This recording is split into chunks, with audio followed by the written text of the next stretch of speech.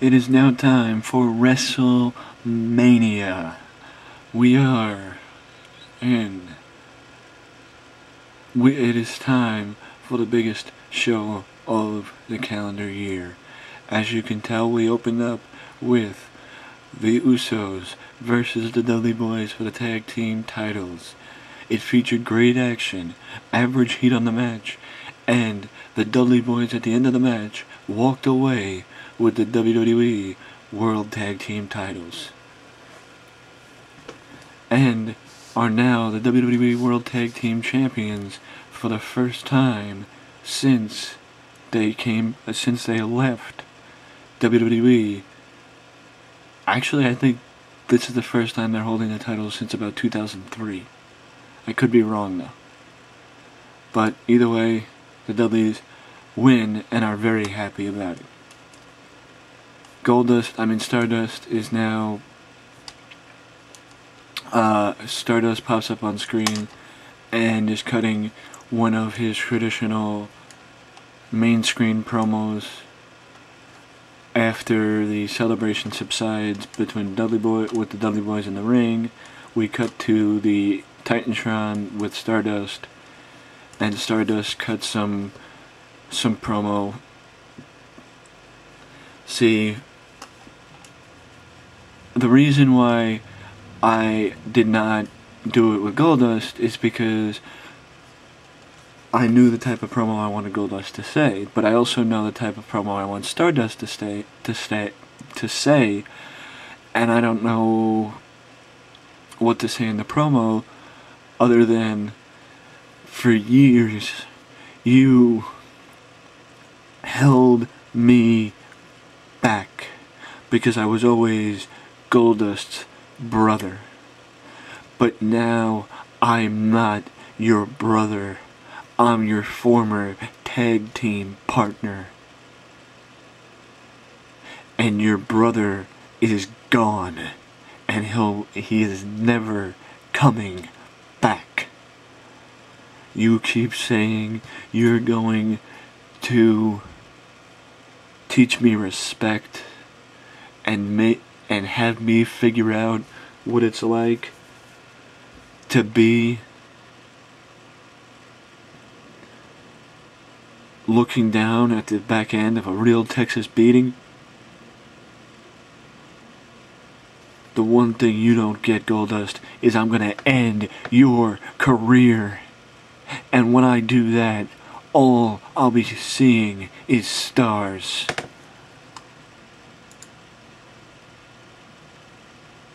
And now we move on to the Andre the Giant Memorial Battle Royal, which, let's see if I can uh, zoom out a little bit. Uh, Big E's the one on the end, and Kofi and Kane are next to John Cena. The reason why I had Cena win is because it gives credibility. Like when Hogan won the Royal Rumble year uh, that first year, it gave the match credibility because of who won it and the name value that Hogan brings to the no- to the match. Yes, the Andre the Giant Memorial Battle Royal could, in fact, be the springboard for future stars. But fact of the matter is, because of how they worked it last year with not doing anything with Cesaro, you really the match really meant nothing. So I had to um, get somebody in there like an or- Randy Orton or a John Cena, have them win, and give meaning to the match. That is the only reason why Cena won. Because I wanted him to give meaning to that trophy and the match. This way, next year, I could do the match and maybe use it as a springboard for to push somebody up the card. And now we move backstage with Renee Young and Dolph Ziggler. And Renee asks Dolph, Dolph, do you have any final thoughts before your match tonight with Daniel Bryan? You know what I do? Fact of the matter is, Daniel Bryan thinks that he deserves everything because of what he had when he got injured. Daniel, fact of the matter is, you got injured and you had to go away. I got injured and I came back. Did I lose my title? Yes. But did I complain about it? No. I came back and proved once again why I am the best in that ring in this company. And this title that I'm holding right around my waist proves that I am a workhorse and I will give 110% every night I'm in that ring. And just one more thing. What these people don't understand is I turned on them because they welcomed Daniel Bryan back with open arms and expected him to automatically get a WWE World Heavyweight title shot. Why does he deserve one? Yet he was out for a year. I've been here. I've been working my ass off when he was on the shelf, and I haven't been told I deserve anything. But I just keep my mouth shut and keep working. I was sick and tired of it. I turned on these people because these people turned on me. And sided with that goat faced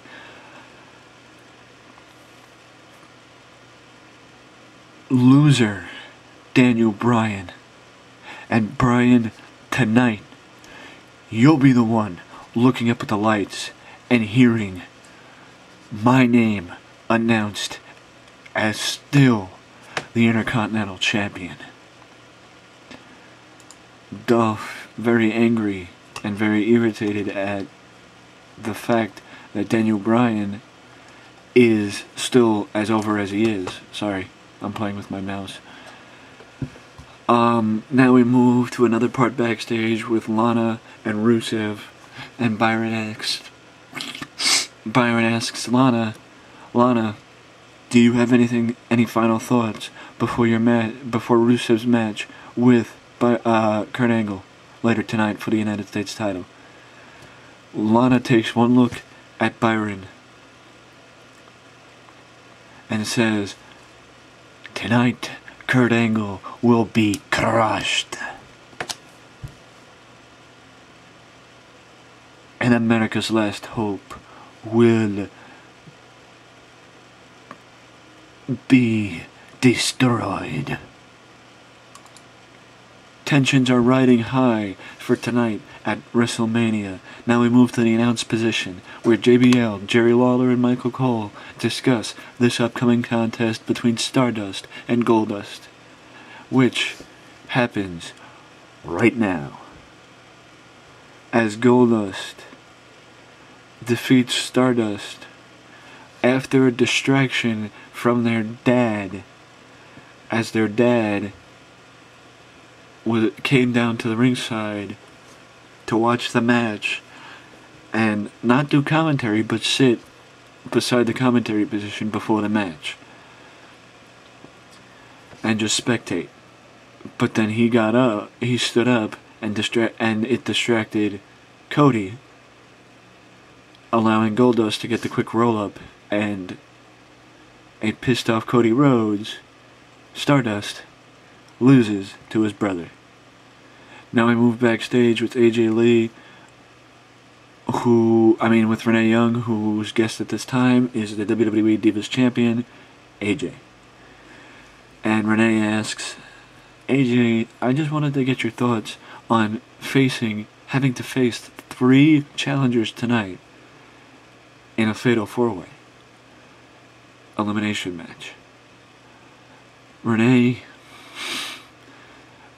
since I won back this championship, I have been nothing but a fighting champion. Tonight will be the Bella Twins and Paige's last opportunities at my championship.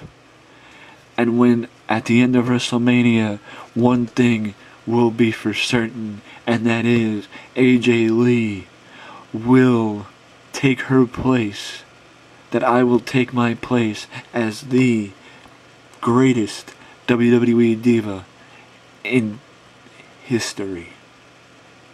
Because I will walk out still the WWE champ the WWE Divas champion.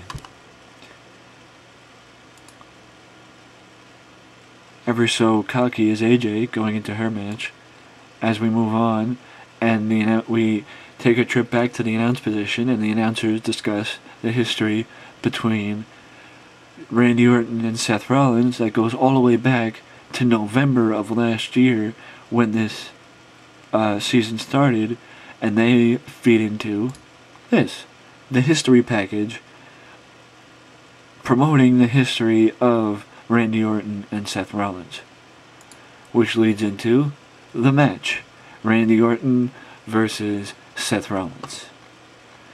And by far, probably one of the better matches on the show, which was in 82. And Randy defeats Seth Rollins like he did in real life. And now we move on. Um, look, uh, I guess the best way to think about this match is think about this match as if there was a uh, think about this match as in between Randy and Seth, uh, Randy versus Seth in this match. That's when the musician, the music, uh, the musician that was at the show, did his song. I know WWE didn't have that this year, but I chose to. So, um, and that leads into this match with Miz and Mizdow, and Miz wins using the ropes for leverage, cheating, which could in fact lead to a rematch between Miz and Mizdow because this was a solid um, match, but I don't know. And now we move to the next segment. If the game would actually load, which is The Miz celebrating, but he takes it a little overboard, much like Kurt Angle did when he was when he first joined WWE and would get excited off every victory. But he is very, very excited and then takes the mic- microphone and says, I am the Miz and I'm awesome. Don't any of you ever forget that. The reason why The Miz won is because he has something going on in the future. I don't know if Mizdow does.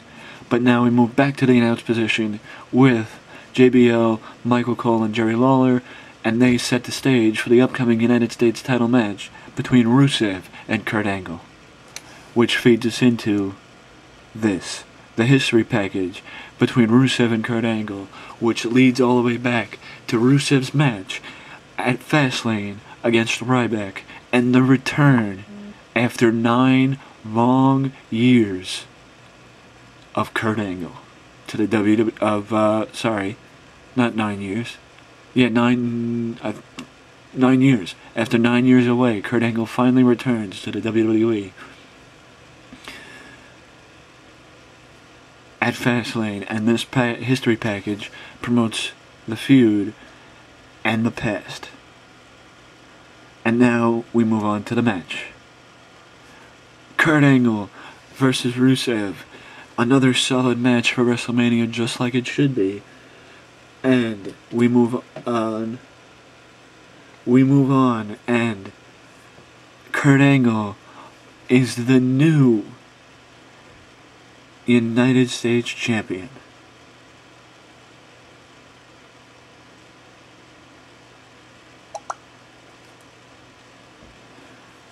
And this leads to classic Kurt Angle as Angle celebrates, running around the ring like a madman because he is extremely, extremely happy that he and proud that he is the new United States champion. And the first person to pin Rusev one, two, three in the middle of the ring. Now we move to the next segment, which is Renee Young backstage with Bad News Barrett. And Renee asks, Bad news, why, why did you want this time? Why did you want this time? And Bad News says, looks at Renee and says, I'm afraid, Dean Ambrose, I'm afraid I've got some bad news. I beat you fair and square last week on SmackDown. And tonight, I'm not gonna beat you. I'm going to embarrass you on the biggest stage in WWE. And there is nothing you can do about it. Boom! So, you know, symbolizing his bullhammer. And then we move to back to the broadcast position one more time with JBL, Michael Cole, and Jerry Lawler setting the stage for Bad News versus Dean Ambrose, which happens right now. And Dean Ambrose defeats Bad News in a Texas death match. And another solid match for the card that every match is supposed to be good. But this feud continues to surprise me with how good the matches have gotten. And now we move to the next segment, which is Paul Heyman talking to Brock Lesnar backstage, and as the camera tries to sneak up and get, catch a glimpse of what's going on, the cameraman is intimidated away by Brock Lesnar and shooed by Paul Heyman. To not uh, reveal any secrets that they might be talking about. And now we move to the history package of Bray Wyatt versus The Undertaker starting back the night after the Royal Rumble when Bray's cryptic promos started and going all the way up to Fastlane uh, to a couple weeks ago when Bray Wyatt officially challenged The Undertaker to a casket match. And now we move to the next segment, the match.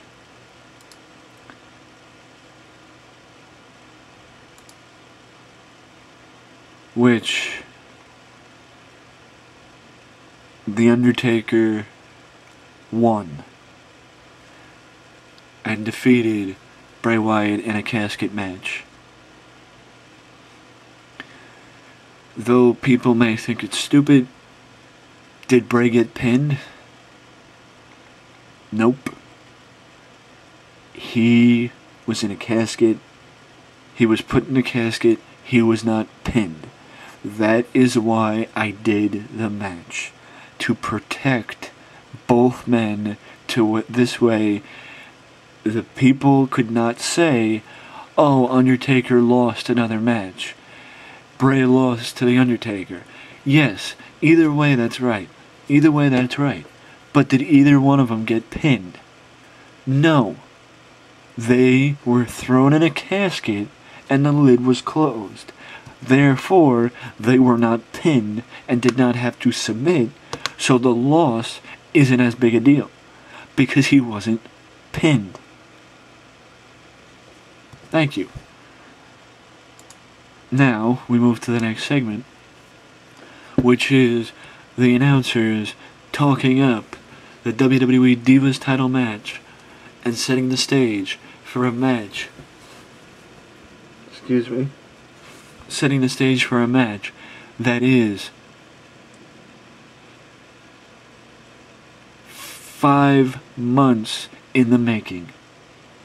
These four divas have been feuding since November of last year, and this is the end of that feud tonight.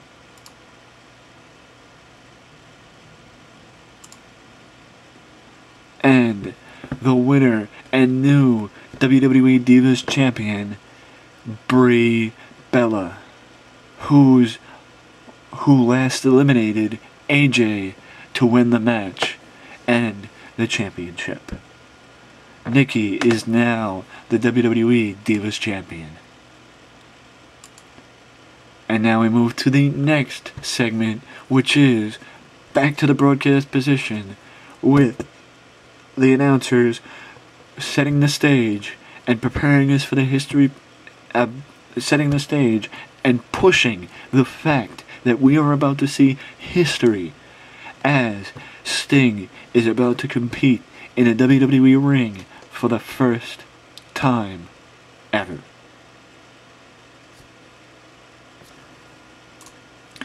Uh, a history package highlighting the history between Sting and Triple H.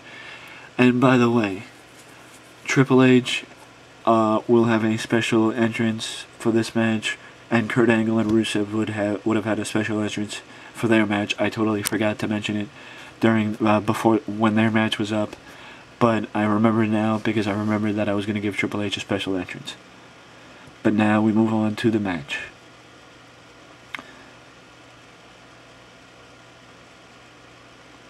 Fact of the matter is, much like the real match, Hulk Hogan was seen, Billy Gunn was seen, Road Dogg was seen, Sean Waltman, uh, Shawn Michaels, Sean Waltman, Kevin Nash, Scott Hall, etc., etc., etc. They were all seen in the match, but after interference from HBK, distractions from the Outlaws and Sean Waltman, and the use of a sledgehammer, and two pedigrees, Sting falls, falls victim to Triple H.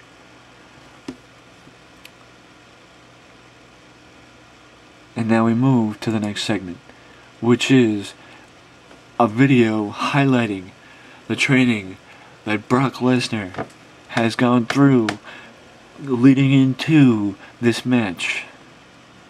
And you hear the voiceover work of Paul Heyman putting over uh, Brock's accomplishments of being a two-time NCAA champion, the current WWE World Heavyweight Champ, the reigning, undisputed, defending WWE World Heavyweight Champion, and the beast incarnate.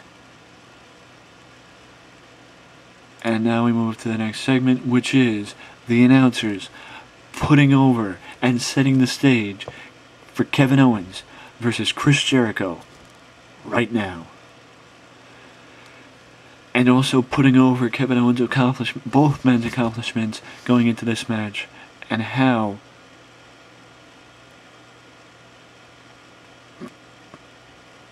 they got to this point. Things got to this point. But now, as you can tell, Kevin Owens defeats Chris Jericho. I would have liked something better than a handful of tights, but I can't pick what tainted finish we have. I can only pick tainted finish. But Kevin Owens wins off a hand a handful of tights from Chris Jericho. And either way, Kevin Owens stole a victory off the veteran. And now we go back to the video, video board of Roman Reigns and his training regimen going into the biggest match of his career. Putting o- they put over the fact, um, let's say the voiceover is Tom Phillips he puts over Roman's accomplishments as a part of the Shield and being one of the most dominant stables ever to step foot in WWE. He puts over the fact that Roman set the record for most eliminations last year in the Royal Rumble, and he puts over the fact that Roman Reigns beat 29 other men to win the 2015 Royal Rumble and get to this point. We move on to the next segment, which is the history package of Daniel Bryan and Dolph Ziggler's feud, which goes back to the Royal Rumble when Daniel eliminated Dolph and Dolph's jealousy boiled over.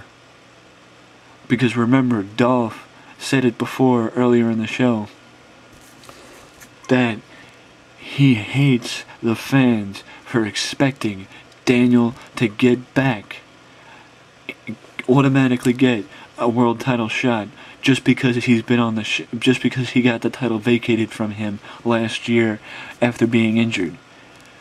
Nobody was hoping Dolph got the title back when he got injured, even though he was man enough to fight and lose it. Now we move to the next segment, which is Daniel Bryan versus Dolph Ziggler in a very disappointing match, which was a 59 by the way, which is an extremely disappointing match because I invested a lot into this match, as this match has been spending has spent the last two months building, and is the semi-main event. Actually, I should have made the match before this a semi-main. And it should also tell you something when the Divas match almost got better, but either way, Daniel Bryan won the Intercontinental title, and now let's move on to this match because I'm very disappointed. And now we move on to the history package promoting the history, uh, the video package promoting where, how this feud between Roman Reigns and Brock Lesnar started, and how each man got to this point. And now we move to the next segment, which is this match. Now, you might wonder why it says an angle. It's because of how I set it up. In reality, and oh, okay, fine. In the game, Brock didn't want to do. Uh, didn't. I, I did something and the only way I could do it is by doing an angle. But the match begins like it did in real life. The two inflict so much punishment on the other, on each other, that both men can barely stand up from being so exhausted. This match is def- definitely defying expectations that people set. We see both men hitting each each other's finishers, and it takes three Superman punches and a spear to not even knock down Brock Lesnar for Roman Reigns, even after Brock gets split. But out of no- and then from out of nowhere, Brock catches Roman. After Roman tries to deliver the Superman punch, Brock catches him, throws him on his shoulders, flings him around with an F5, and both men are down, exhausted in the middle of the ring after 20 plus minutes of going at it. And then, out of nowhere, Seth Rollins' entrance theme starts. Oh my god, he's cashing in money in the bank. Seth Rollins is cashing in money in the bank. The first person in the history of Money in the Bank to cash in at WrestleMania. Seth Rollins is cashing in Money in the Bank. And now we move on to the next segment with Seth Rollins defeating, pinning, running in, and pinning Roman Reigns with, and uh, pinning Roman Reigns after a curb stomp to both Roman and Brock. And neither one of them can respond because they've been going at it for 20 plus minutes. Seth Rollins, with the hijack of the century, wins the WWE World Heavyweight Championship at WrestleMania. Yes, because of that match, the main event, and how I did it, I could have done it better. I probably could have. But because of how I did it, because of how I was forced to do it, um, WrestleMania did not get as good as it should have. But doesn't really matter because this is officially the end of the this edition of the How I Would Book It. I much it is much appreciated for all the support this um for this series thus far in the new this new start for this series, the new start for this series, and I appreciate all the support. The WWE installment of the series is over. Look for the conclusion coming up in the next couple of days. Uh, let me know what you guys thought of WrestleMania in the comment section below. Let me know if you thought over the over this series, over the extent of this edition. Let me know if you thought from part one of this part of this of this installment of the series, and to now that I've gotten better with the camera. Throw it down in the comment section below. Don't forget to like, subscribe to my channel for more content just like this. And I hope you enjoyed. See you next time.